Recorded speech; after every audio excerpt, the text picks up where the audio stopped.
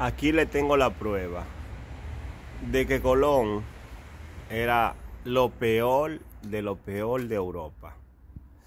Esta es la prueba.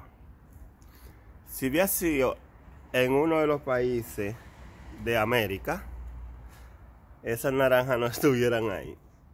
Yo me imagino eh, los praditos eh, y esos barrios de Santo Domingo. El hecho de que usted vea eso aquí en Europa y que la gente no, no coja un, una fruta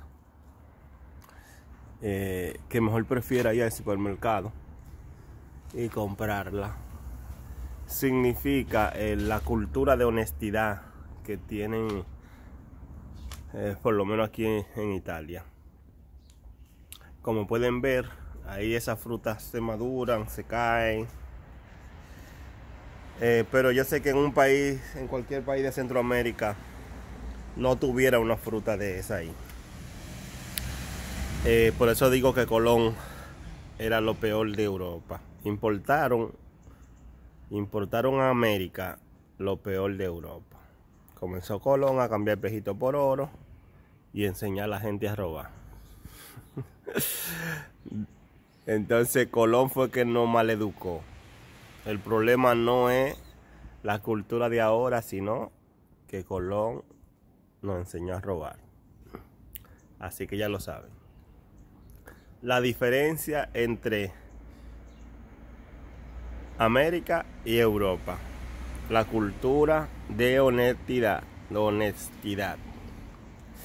Donde la fruta se maduran en la calle. Fácilmente podríamos decir, mira, ay mira, lo puedo coger de aquí y sacarlo Mira este que está maduro.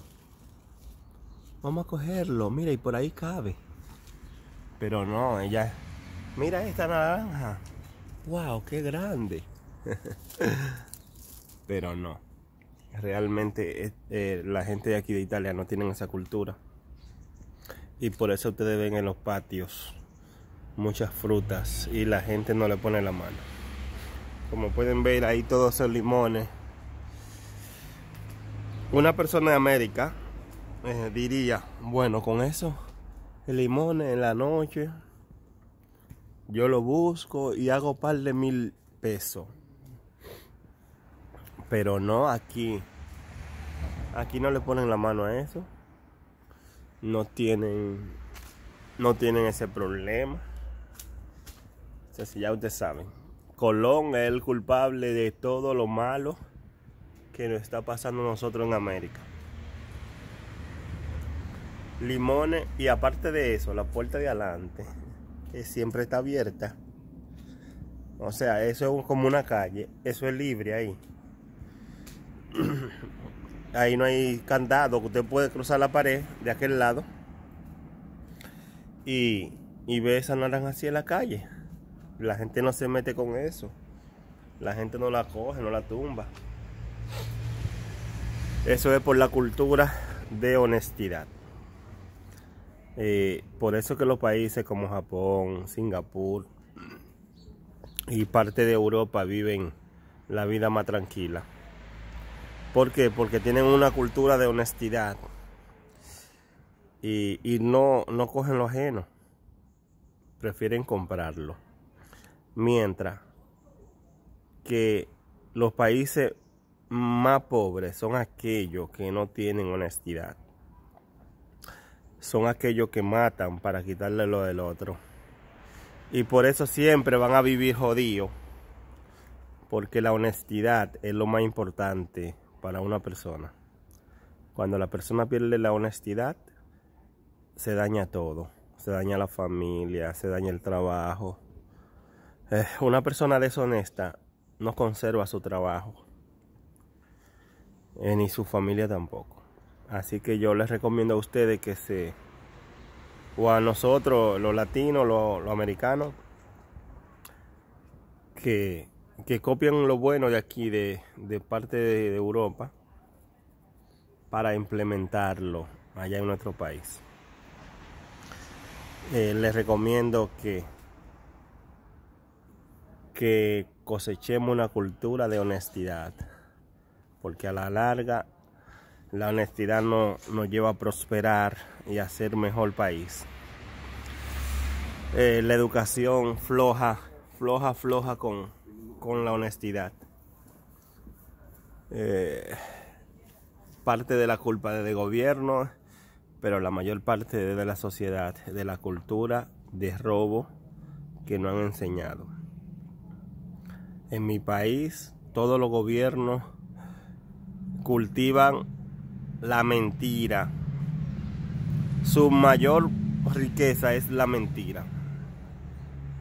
Por eso siempre vivimos pobres, por eso no tenemos ninguno servicio bueno, por eso nos roban los gobiernos, porque no hay honestidad.